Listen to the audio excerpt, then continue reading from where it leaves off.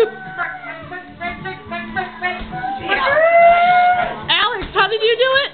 You can do it better.